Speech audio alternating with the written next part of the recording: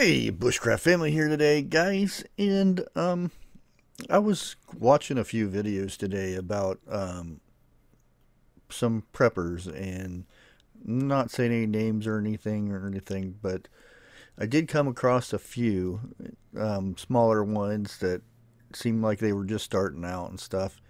And I, and most of the stuff is the, the major important stuff that they always preppers always go for. They go for the food and talk about their storage of food and stuff like that. But a lot of times, um, preppers seem to forget stuff, and myself included. I, I, I sometimes do it myself. Um, that's why it's always good to think of this stuff. Um, what else would I need if there was no stores, no electricity, and everything shut down, and we actually had to survive off of our preps and whatnot until things got started again, or if it did get started again. So I kind of came up with a list. Um, I'm going around and thinking, what kind of stuff would I need um, that I couldn't go out and go to Walmart and get, basically. Um, so I hope hopefully this will be um, helpful to some some people. Um, and as always, go down below and drop comments of other stuff that I might not even think about, which is is normal. Um, pop it down in the comments and let other other people know um, you know, that type of stuff. And so let's get started with the list. Um, this is no special order, good to bad, or anything like that. It's just, I just came up with 10. Um, just, just to start things off. Um, hard copy maps, number one, hard copy maps. Um, now, there's ways of charging your phone so you have maps, but um, say the grid's down and you you can't access um, your data or anything like that, so you're not going to be able to pull up your maps. Your Google Maps won't work anymore. Um, so you're going to have to have a map. So it's good to have, say, in your county, have a map of that. Uh, have a map of the state. Um, they they make these books where you can open pages up and it it's different areas and stuff like that. Um, and kind of mark out different areas and stuff that importance and stuff like that. Um, good places where you can get water and where fishing's at and stuff like that. Um, number two um, basic hygiene stuff. Um, toothpaste um, toothpaste will last quite a bit. And there's also you can use baking soda and stuff like that to to brush your teeth, um, floss, stuff like that. Because um, say you get a really bad tooth, you're gonna have to take care of that yourself, or it's best to keep your your your your mouth clean, stuff like that. Um, I don't know. Uh, feminine products is another good thing. You can stockpile that uh, hand sanitizer, um, mask, uh, latex gloves, stuff like that. Stuff that you wouldn't really think about. Hey, let's stick that in a container and store it. Um, was number three long-term lighting. Um, you notice all these preppers we all talk about their fancy high beam lights and this and that. What happens when their batteries die? They have no light. So you kind of try to think of long term and um, making candles or storing a bunch of candles, um, solar lighting. Um, I just did a, a, review on a nice little solar get up. It has you can recharge your phone, you can recharge other things. Um, it has a radio, a weather station thing on there, which again, the radio and stuff might not work anymore, but Um, it also has lights on it, and you just pop it in the window out in the sun, and it charges. Um, and it has uh, a, a couple different lights on it, so that would be a perfect solution right there, just for lighting. Um, and there's other things you can go to um, the dollar dollar store, and you can get these little things you stick in the ground to where in the daytime it charges a light, at nighttime it comes on. Those make awesome little lights for indoors. You just stick them outside, stick them in the window or something, and then whenever you it's nighttime, boom, you got light. Um, number four, uh, finances. Now, I'm not saying go and stick a bunch of money in your drawer and stuff like that because if things get real bad, more than likely that money is not going to be any good at anyway. So, um, a lot of preppers are all about gold and silver. That sounds good and all, but if say I have a I have a fishing pole and I don't have any tackle or anything with this, and some guy says, um, "I'll," and I'm starving to death. I I need some food, and a guy comes up to me and says, "Well, I'll give you a silver bar for that fishing pole." I don't want no silver bar. I want I want some food. So for me, you try to think of something that it's going to be scarce in times of need.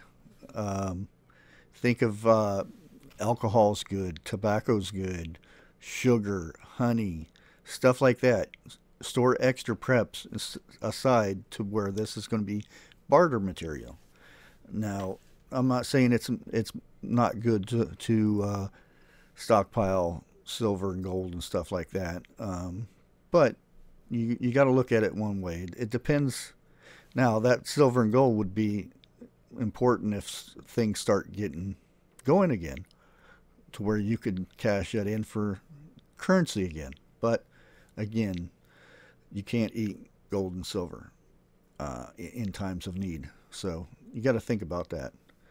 Um, canning supplies, those lids, those especially now, you're seeing that they are very scarce. So if you could stockpile a bunch of those lids, and if you already have the jars and everything, because you most time reuse them and stuff like that. So that's not something to think about. Um, stockpile some of the canning supplies. Um, now you might not think this is really something, but it's always good to have a bicycle. Um, say you're you're you load up all your stuff in your bug out vehicle and you get down the road and boom, something happens. Uh, you get a flat tire and your jack's broke or something and you need to go somewhere to try to barter for a jack or something like that. Um, it's a lot easier to take that bicycle off the back of that truck and ride your bike to town or something like that, depending on the the, the, the situation. But you got to stop and think about it. A bicycle is a lot easier to to get around on than just hoofing it. And it all depends on situations. Like, but a bicycle is is something to think about. Um, number seven, uh, entertainment and inspiration. Um, which, believe it or not, I do have a bunch of board games that my kids had um, way back when when they used to were into that type of stuff. So you keep that stuff in, on hand. I forgot to turn my phone off. Sorry, guys. But you get what I'm thinking. Get some cards, um, get books and stuff like that. If you if your your situation is you you're wanting to bug in in a bad situation, which that should be foremost the most important thing, unless all of your supplies are in your bug out spot. So you're wanting to go there. But again, you're going to want that type of stuff, um, extra Bibles and stuff like that, and something that you can entertain yourself instead of just waiting for stuff to happen. You want to have crafts and stuff like that. Something that some entertainment for yourself. And again, number eight. Um, a lot of times, a lot of preppers, um, water. Yep, water storage. You got to think of that water storage.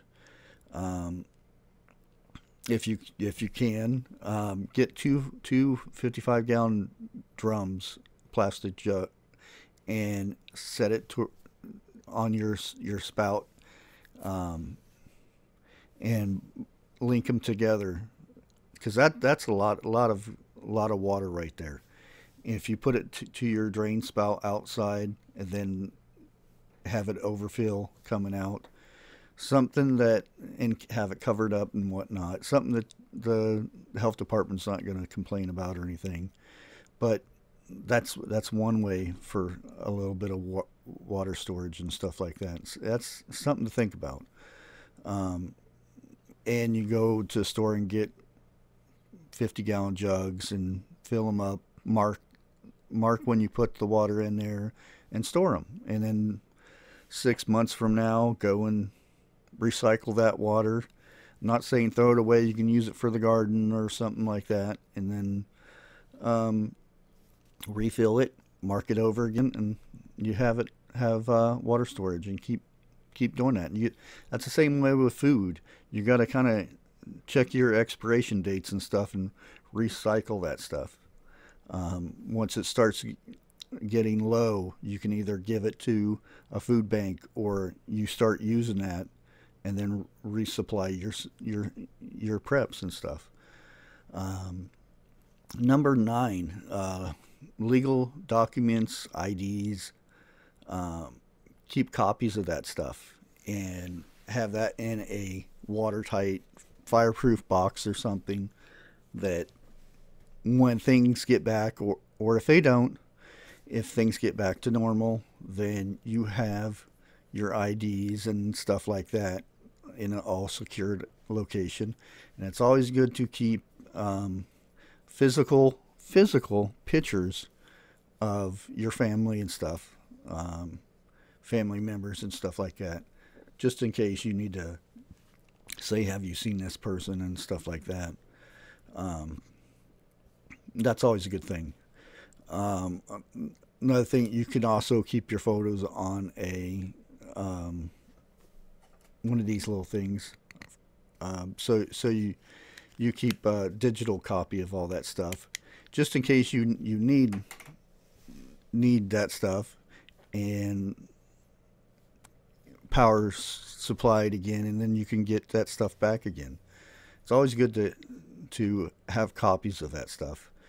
Um, number ten, um, an extra set of glasses. Um, say you're you have prescription glasses you have to to see. Um, that's something to think about. Um, what if you lose a set after everything's gone bad? Then you're going to need glasses, and you didn't have any. You're going to have a heck of a time trying to find your way around when you you can't see.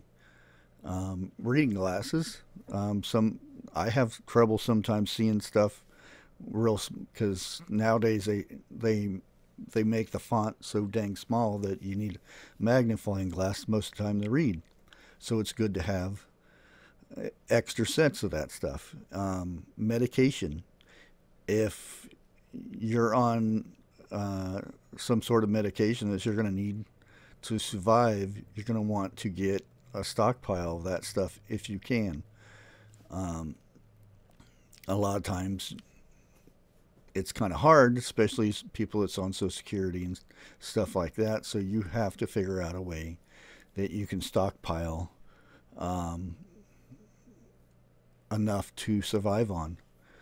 Um, but yeah, that's that's the ten items there, guys. Um, I I tend to think of these things from for some odd reason to kind of improve on my preps and stuff like that. and I also like to bring it out to the public and then read comments of what your suggestions are and if these are good ideas or not. And a lot of times it, it's you learn, and that's that's the main thing here um, to learn, and uh, you can learn a little bit here and there. It it can help. But that's all I'm going to get to today, guys. Uh, I want to thank everybody for watching. Please like, share, comment. If you're not subscribed, please do so.